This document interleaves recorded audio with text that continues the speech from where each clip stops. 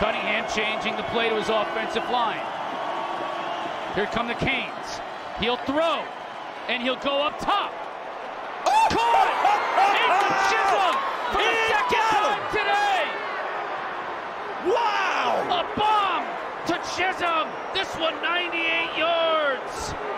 Mitch Stewart, the offensive coordinator for Middle Tennessee. He runs, this is textbook.